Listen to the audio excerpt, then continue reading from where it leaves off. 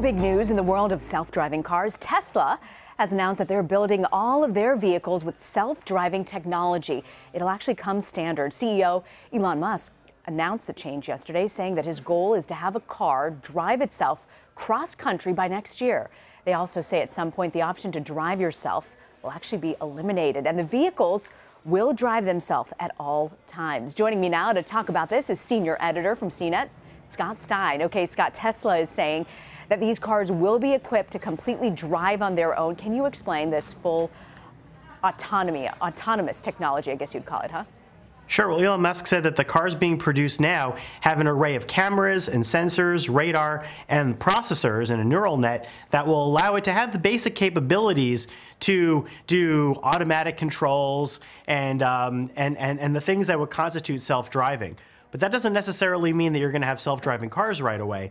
Uh, that technology that forms a layer over the car, um, it still needs to be perfected. And it's, you can't just switch that on and, and start using it on, on everyday highway systems. So it could be something that's being set up now to do uh, testing and data collection but not necessarily auto drive right now. Yeah, it's so fascinating. A friend of mine got a Tesla. I got to say, it's pretty cool. It is really cool once you get over the fact that you're not driving it, that it drives itself. It's really a lot of fun to be in. But Tesla isn't the only one working on this self-driving technology.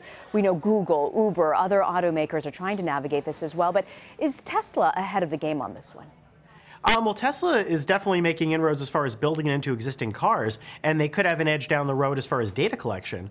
Uh, you know, the goal I think is to have people drive millions of miles with these cars, and that the uh, the system would be able to collect data and maybe make observations that could be crucial down the road for self-driving um, uh, cars.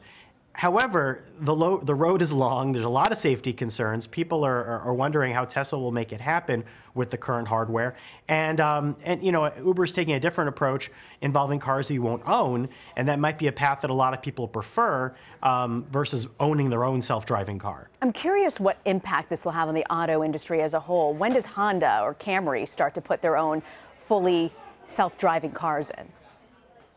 Well, I mean, I think this is this is clearly the hot topic. Um, everybody's trying to pursue it. And the question is about safety, and it's about how much of it is self-driving versus assistive. I think uh, a lot of companies are talking about the idea of uh, hel helpful assistance, and, and, even that in certain countries is getting you know is harder to um, to approve than others. So you, you, can see there's a lot of concerns about it. So I think everyone's pursuing it, but um, you know how fast you see this incorporated in something that you drive all the time uh, it could take a little bit of time.